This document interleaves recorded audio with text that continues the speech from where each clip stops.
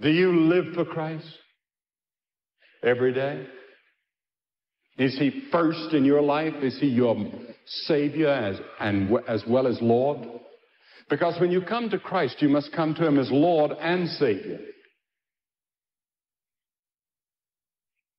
If thou shalt confess with thy mouth the Lord Jesus and believe in thine heart that God hath raised him from the dead, thou shalt be saved.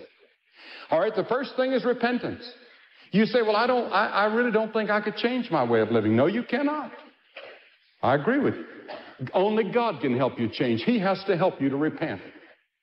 And then the second thing is by faith you receive Him. By faith you open your heart and receive Him. Just like I'm standing here on this platform. Now, this is the first time I've ever been on this platform. Now, I didn't stop and examine the platform to see if it would hold a man.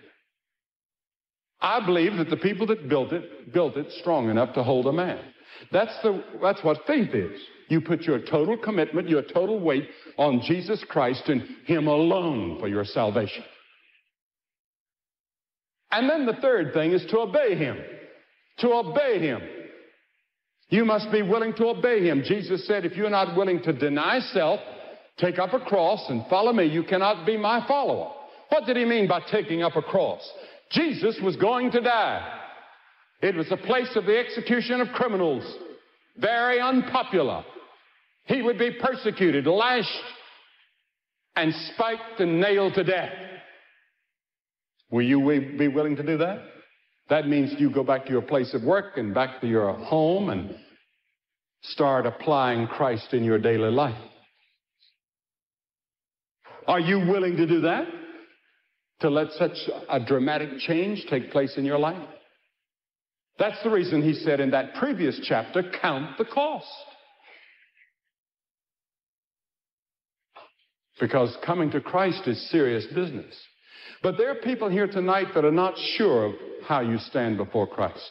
You may be a member of the best church in town. You might have been baptized or confirmed or whatever. And you may be a good person. But down deep inside, you don't have that assurance that Christ is yours. And you'd like to have that total and complete assurance. I'm going to ask you to do something tonight that we've seen people do on every continent, in many countries of the world, and recently everywhere in Japan by the thousands. I'm going to ask you to get up out of your seat and come and stand in front of the platform and say, by coming, I want Christ in my heart. And why do I ask you to come publicly? You know, when my wife and I, who's here tonight, got married, we did it publicly in front of witnesses. Jesus died on the cross publicly for you. He hung there naked in front of that crowd for you and took your shame and your sin. Every person he called in the New Testament, he called publicly. Public. There was a reason for it a spiritual reason and a psychological reason. I'm asking you to come publicly and say, I will identify with Christ tonight. I want to know.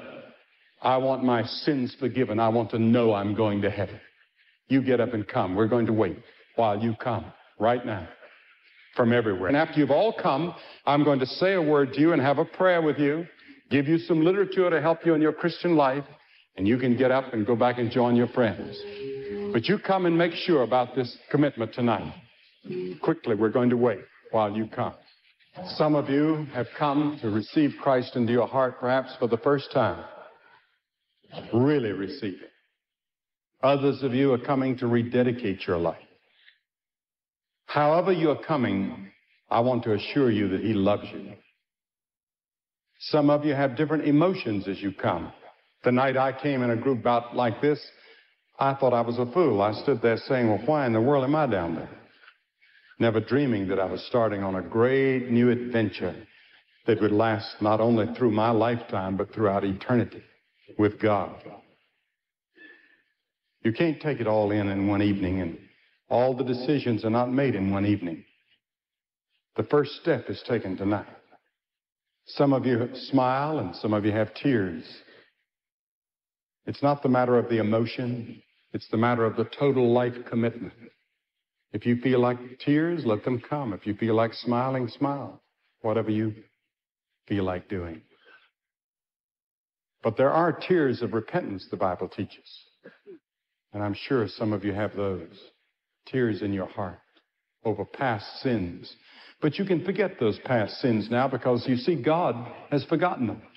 That's the marvelous thing we're taught in the Bible about God. He has the ability to forget, to erase from the tape recorder every sin you've ever committed so that it's no longer there held against you. That's what Christ did at the cross. Now, there are four things from now on that are very important. First is to read your Bible every day. That helps you to grow. You cannot grow spiritually without studying the scriptures. Now, we're going to give you a part of the Bible tonight. We're going to give you a thing called Living in Christ. And you'll see in the front of it the Gospel of John.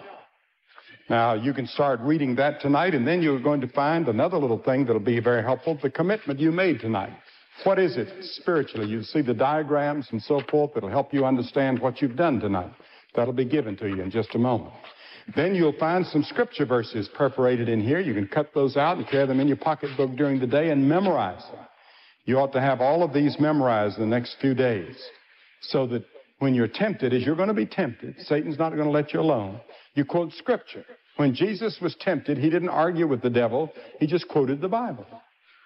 There's one thing the devil cannot stand, and that's quoted scripture. So that's the reason it's important. Now, as you read the Gospel of John, you will not be able to understand everything you're reading all the time, of course. But you keep reading till you come to a verse that speaks to you, and that will be God's Word for you. Stop and meditate on it. Then try to apply it in your life. Now, the second thing is to pray. Now, you say, Billy, I really don't know how to pray. I guess I've prayed once in a while. I'm about to have an automobile wreck. I said, Lord, save me, or something like that. But uh, how do I pray? Well, first of all, you won't be able to pray like a clergyman to start with. You just say, Lord, I love you. That's a prayer. Lord, I need your help. That's a prayer. And then you begin to talk to God just as though you would talk to your best friend and tell them all your victories and joys and happiness and tell them your troubles and your problems and your needs. He'll answer your prayers.